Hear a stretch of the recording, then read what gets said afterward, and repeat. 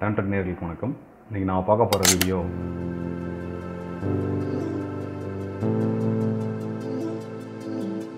இந்த album page டிசைனை எப்படி பண்ணலான்னு பார்ப்போம். ஃபோட்டோஷாப் ஓப்பன் பண்ணோடனே நமக்கு நியூ டாக்குமெண்ட் க்ரியேட் பண்ண சொல்லி ஒரு விண்டோ ஓப்பன் ஆகும். அந்த விண்டோவில் வித் எவ்வளோ ஹைட் எவ்வளோ ரெசல்யூஷன் எவ்வளோ அந்த ரேட்டெல்லாம் கேட்கும். நம்ம க்ரியேட் பண்ண போகிறது டுவெல் இன்ட்டு தேர்ட்டி சிக்ஸ் அதாவது டுவெல்லுங்கிறது height thirty six width resolution three hundred கொடுத்து க்ரியேட் கொடுக்குறோம்.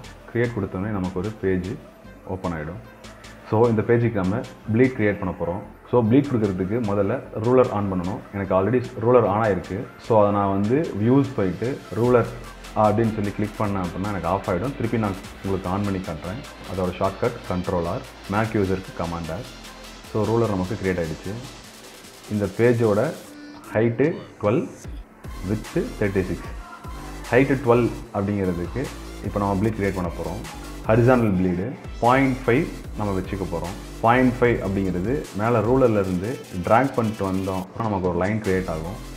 அந்த லைனை ஷிஃப்ட்டு பிடிச்சோம் அப்படின்னா எக்ஸாக்டாக பாயிண்ட் ஃபைவ்ல நிற்கும் அதே மாதிரி vertical left vertical right horizontal bottom so இப்போ நாலு சைட்க்கும் நம்ம வந்து ப்ளீட் க்ரியேட் பண்ணிட்டோம்.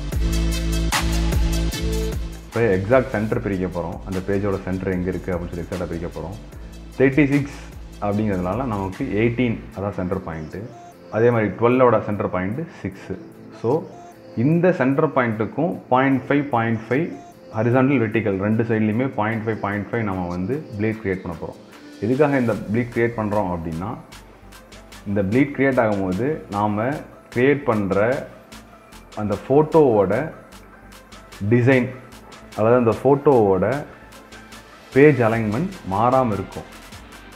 இது க்ரியேட் ஆனதுக்கப்புறம் ஒரு ஷீட் அப்படிங்கிறது லெஃப்ட்டு ரைட்டு ஒன் அப்படிங்கிறது லெஃப்ட்டு டூ அப்படிங்கிறது ரைட்டு ஸோ இது க்ரியேட் பண்ணதுக்கப்புறம் அடுத்தது நம்ம ரெக்டாங்கிள் டூல் செலக்ட் பண்ணி ஸ்ட்ரோக் ஆஃப் பண்ணிட்டு ஃபில்லை மட்டும் கொடுத்து ஃபில்லுக்கு ஒரு வேல்யூ கொடுக்குறோம்.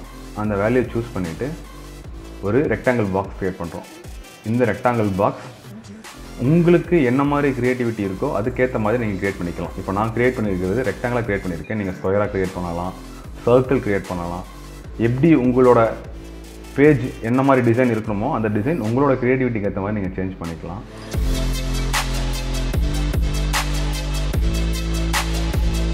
ஸோ இந்த ரெக்டாங்கிளை க்ரியேட் பண்ணதுக்கப்புறம் நான் அதிலிருந்து டூப்ளிகேட் எடுத்து ஆல்ட்டு ப்ரெஸ் பண்ணிங்க அப்படின்னா உங்களுக்கு டூப்ளிகேட் ஆகும்.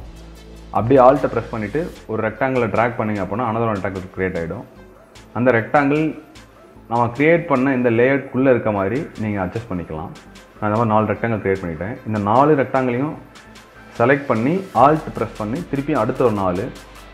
அடுத்த இந்த நாலு எட்டு ரெக்டாங்கிளையும் திருப்பியும் ஆல்ட் ப்ரெஸ் பண்ணி அடுத்த ஒரு எட்டு ரெக்டாங்கிள் ஸோ லெஃப்ட் அண்ட் ரைட்டை நான் வந்து ரெக்டாங்கிள் வச்சு ஃபில் பண்ணிட்டேன். இப்போ ஃபோட்டோஸை இன்சர்ட் பண்ணி எப்படி இந்த ரெக்டாங்கிள் பாக்ஸ்க்குள்ளே எடுத்துகிட்டு வரலாம்? எப்படி நம்ம க்ரியேட் பண்ண இந்த ஷீட்டுக்குள்ளே ஒரு ரெக்டாங்கிள்குள்ளே எப்படி இந்த இமேஜ் எடுத்துகிட்டு வரலான்னு பார்ப்போம். உங்களுக்கு எந்த இமேஜ் உங்களுக்கு வேணுமோ அந்த இமேஜை நீங்கள் செலக்ட் பண்ணிக்கோங்க. செலக்ட் பண்ணிவிட்டு ட்ராக் பண்ணிட்டு வந்து இந்த லேஅவுட்டில் உள்ளே விட்டீங்க அப்படின்னா நமக்கு அந்த இமேஜ் உள்ளே வந்துடும் இப்போ இந்த உள்ளே வந்த இமேஜை இந்த பாக்ஸ்க்குள்ளே எடுத்துகிட்டு வரணும். இந்த பாக்ஸ்க்குள்ளே எடுத்துகிட்டு வரதுக்கு கிளிப்பிங் மாஸ்க் அப்படின்னு ஒரு கான்செப்ட் இருக்குது அந்த இமேஜை ரைட் கிளிக் பண்ணியும் நீங்கள் கிளிப்பிங் மாஸ்க் பண்ணலாம். அல்லது ஈஸியான மெத்தட் எந்த ரெக்டாங்கிள்குள்ளே வரணுமோ அந்த ரெக்டாங்கிளை சூஸ் பண்ணிவிட்டு அந்த இமேஜை அந்த ரெக்டாங்கிளுக்கு மேலே வச்சு ஆல்ட்டை ப்ரெஸ் பண்ணீங்க அப்படின்னா இந்த மாதிரி உங்களுக்கு ஒரு சிம்பிள் வரும். உங்களை கிளிக் பண்ணீங்க அப்படின்னா உங்களுக்கு ஆட்டோமேட்டிக்காக அந்த பாக்ஸ்க்குள்ளே அந்த இமேஜ் போயிடும். இமேஜ் போனதுக்கப்புறம் கண்ட்ரோல் டீ கொடுத்து அதை ட்ரான்ஸ்ஃபர்மேஷன் பண்ணி உங்கள் பாக்ஸ் என்ன சைஸுக்கு இருக்கோ அந்த சைஸுக்கு இந்த இமேஜை ரீசைஸ் பண்ணிக்கோங்க. இதே மாதிரி ஒவ்வொரு இமேஜும் செலக்ட் பண்ணி எல்லா பாக்ஸையும் ஈஸியாக கிளிப்பிங் மாஸ்க் மூலமாக ஃபில் பண்ண முடியும்.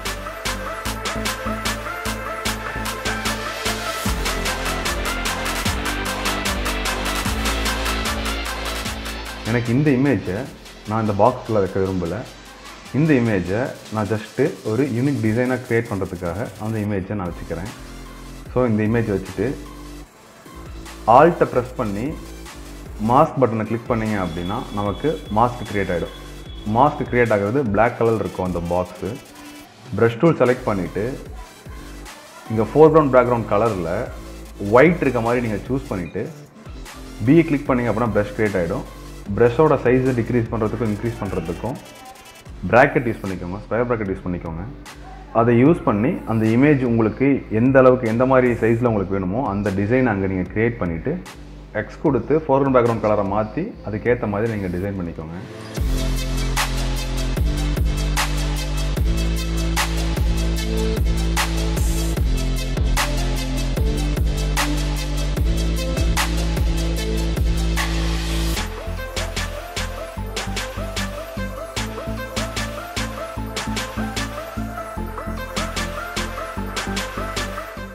இப்போ நான் க்ரியேட் பண்ணிட்டேன். இந்த இடத்துல நான் பேக்ட்ராப் கொடுக்க போகிறேன் என்னோட பேக்ட்ராப் சூஸ் பண்ணிட்டேன். நான் ஒயிட் கலர் சூஸ் பண்ணியிருக்கேன். ஜஸ்ட் சாம்பிளுக்கு தான் நான் சூஸ் பண்ணியிருக்கேன். உங்களுக்கு எந்த மாதிரி கலர் அந்த பர்டிகுலர் பேஜுக்கு செட் ஆகுமோ அந்த மாதிரி கலர் பேக்ட்ராப் எடுத்து சூஸ் பண்ணிக்கோங்க. பேக்ட்ராப் கொடுத்துட்டு கண்ட்ரோல் டீ கொடுத்தீங்க அப்படின்னா ட்ரான்ஸ்ஃபர்மேஷன் வரும். உங்களுக்கு அந்த பேஜுக்கு ஏற்ற மாதிரி சைஸை க்ரியேட் பண்ணிக்கோங்க. இந்த பேக்ட்ராப்பை கிளிக் பண்ணிவிட்டு வந்து உங்கள் மொத்த இமேஜுக்கும் கீழே அதாவது பேக்ரவுண்ட் இருக்கும். அதுக்கு மேலே வச்சிட்டிங்க அப்படின்னா ஆட்டோமேட்டிக்காக உங்களுக்கு பேக்ட்ராப் வந்து எல்லா இமேஜுக்கும் கீழே இருக்கும்.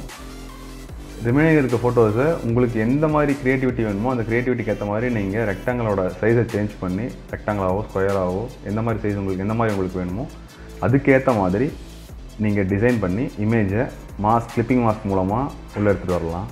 ஸோ இப்போ நம்ம ஆல்பம் பேஜ் லேஅவுட் டிசைன் எப்படி பண்ணுறோன்னு பார்த்துருக்கோம். இது இந்த மாதிரி தான் வெட்டிங் ஆல்பம் பேஜ் லேஅவுட்டை க்ரியேட் பண்ணுறாங்க ஸோ நம்ம க்ரியேட்டிவிட்டி எந்த அளவுக்கு இருக்கோ அதுக்கேற்ற மாதிரி நம்ம வந்து பாக்ஸஸ் ஸ்கொயர் ரெக்டாங்கிள் சர்க்கிள் அது எல்லாமே நம்ம டிஃப்ரெண்ட்டாக யூஸ் பண்ணி ஒர்க் பண்ணிக்கலாம். இது போல் Photoshop After Effects Premiere Pro Avid Illustrator இந்த மாதிரி சாஃப்ட்வேரில் நீங்கள் மாஸ்டராக விரும்புனீங்கன்னா ப்ளீஸ் சப்ஸ்கிரைப் டு டேம்டெக் லைக் பண்ணுங்கள் ஷேர் பண்ணுங்கள் இந்த வீடியோ பற்றின டவுட்ஸ் எதாவது இருந்ததுன்னா கமெண்ட் பண்ணுங்கள் தேங்க்யூ